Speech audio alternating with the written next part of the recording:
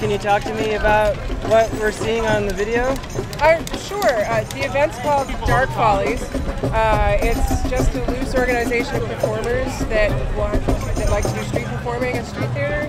There's an event that goes on here on Friday nights called Plague, which is a Gothic industrial night, and there's a ton of performance talent in that night.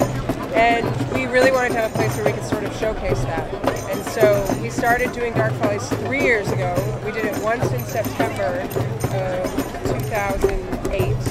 And everybody loved it so much, we did it last summer, and we did it again this summer.